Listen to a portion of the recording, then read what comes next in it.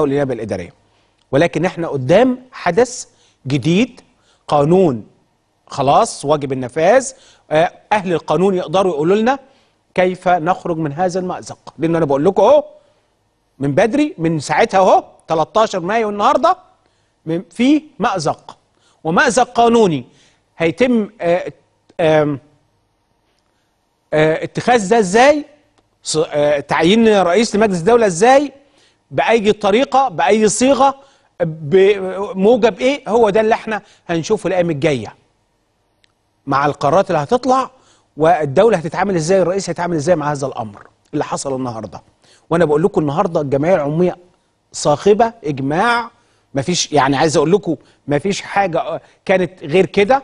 كله رايح متوافق إن إحنا هنختار واحد. فقط هو المستشار يحيى الدكروري. طبعا المستشار يحيى عشان الناس اللي مش عارفة مين وكل الناس عارفة اللي أصدر حكم آه، بمصرية تيران وصنافير. هذا هو الرجل الذي أصدر الحكم. وبالتالي بقول لكم البعض شاف إنه جايز ما يكونش على ال- الهواء طب ليه؟ يعني ما فيش يا جماعة. خليني أقول لحضراتكم يعني هذا هو المستشار آه، يحيى دكروري المرشح لرئاسة مجلس الدولة آه، طبقا لما انتهت إليه الجمعيه العموميه النهارده لمجلس الدولة. وعايز أقول لكم ليه؟ اولا لا خلاف ما بين الدولة وما بين القضاء ولا خلاف ما بين الدولة ومجلس الدولة. أصل مش هيبقى في خلاف.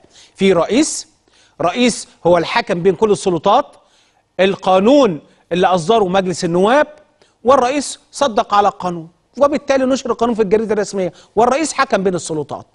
لا يتدخل في عمل أي سلطة ولا ينصر سلطة على حساب سلطة أخرى. إحنا دولة قانون ولا لا؟ هو ده السؤال. بعد الفاصل.